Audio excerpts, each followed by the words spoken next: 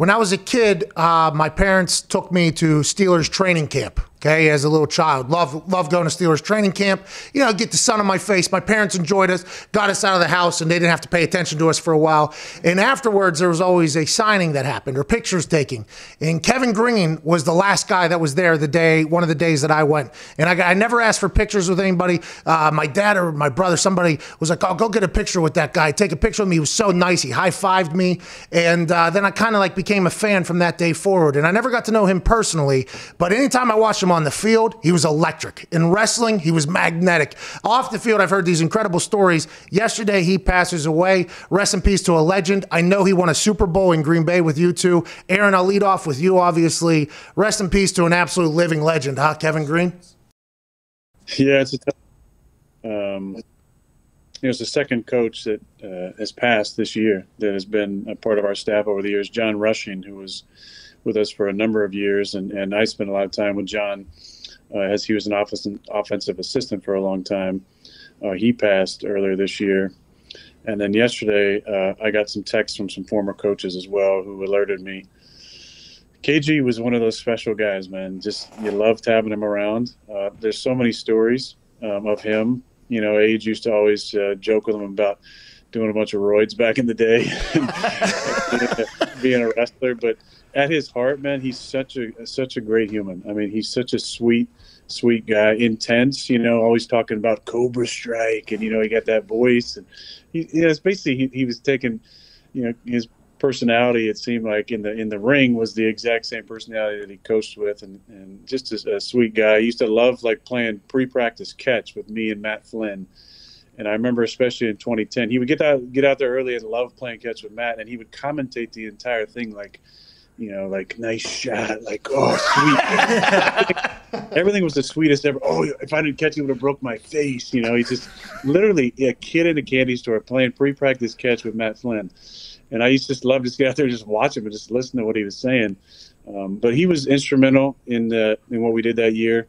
Uh, such a fun guy. We used to go back and forth and, and give each other shit uh, and inside jokes at practice, but uh, just so much fun to be around. Great wife who sang the anthem uh, at our stadium a few times. Got to know his kids, especially Gavin.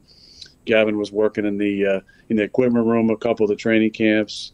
Um, you know, definitely will miss him, and and uh, it's definitely a big loss for the sports world and for for anybody who was around Kevin just knows how special he was. By the way, it feels like, and thank you for that. I just felt like I got to learn. It feels like yesterday, although everybody was sad, there was just like these incredible stories coming out of from the wrestling world. People were like, "Man, when he was around, just everybody was lifted." AJ, was he a hands-on coach with you day to day?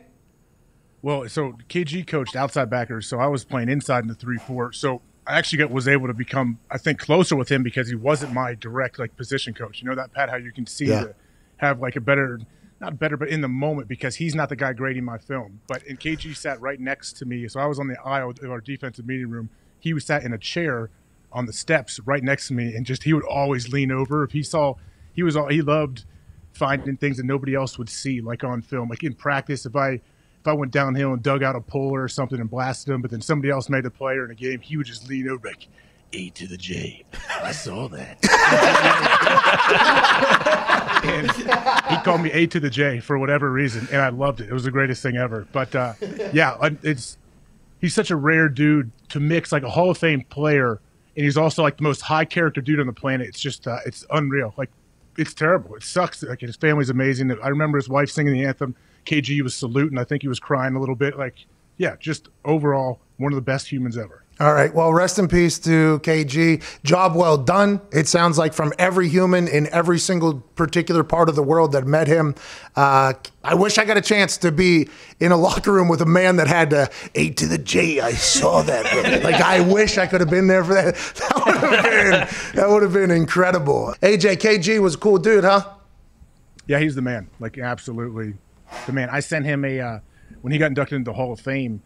I sent him. I, I had a, a, this big knife, and I had it made. I had it engraved with two cobras striking each other, and then his Hall of Fame number underneath and his name and everything. And he was so juiced. I sent it down to Florida where he was living. A to the J, man. That's that knife with the cobras. Oh, yeah. He was just. I used to rough him up. I used to rough him up on the sidelines because he'd always be the first one out there to celebrate, like after a big three and out or something. And and I would run over and start like forearm him in the neck and arms just rough him up. And he'd go, whoa, whoa, whoa. And then he'd see that I, are we, are we going to do this? Like, he'd be like, and then afterwards, be like, A to the J. You're going to bruise me, man. It's too bad. You got to stop. he is the man. Everything about him.